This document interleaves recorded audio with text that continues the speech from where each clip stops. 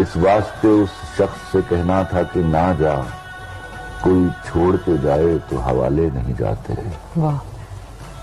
दिल से मुझे रगबत थी मेरे दोस्त वगरना दिल से मुझे रगबत थी मेरे दोस्त वगरना टूटे हुए शीशे तो संभाले नहीं जाते।